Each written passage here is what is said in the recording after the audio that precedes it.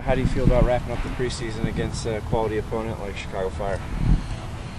Well, that'll be a, a great game uh, for our final preparation uh, to the opening game against DC United on March 22nd. And, uh, you know, uh, the game is not only against uh, obviously one of the top teams in MLS in Chicago Fire, but against one of the top personalities in Blanco. And I think for the people in Phoenix to have the opportunity to see Donovan and Blanco, it's a, it's a fabulous night. So we look forward to the trip. It's a great, you know, opportunity to I think test ourselves against, you know, what I felt was probably one of the one of the best teams in the league last year. Um, I thought they were probably unlucky not to get to the final, and uh, you know, again, um, we should be fully up and running by then, and uh, it'll be a great litmus test to see, uh, you know, how far we've come in these uh, first couple of months. It's a preseason match, you know, so it'll be competitive. Guys competing for spots, and uh, just this is kind of a, a get going thing, you know. So um, it won't be an easy match where guys are taking it easy. So it'll definitely be a competitive, uh, physical match. It's a great uh, opportunity for you know not only the Galaxy but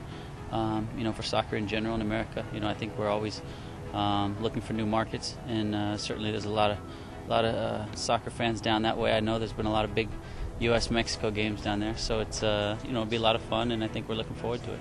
I think it's nice anytime uh, you, you get to travel uh, in the United States in markets and non MLS markets, and uh, you, you see the excitement that the people in those cities have. So I think this is a great opportunity for the people of Phoenix to see some great MLS stars, and uh, and, and it's great for us to get in a venue uh, like we are in Tempe uh, at Arizona State.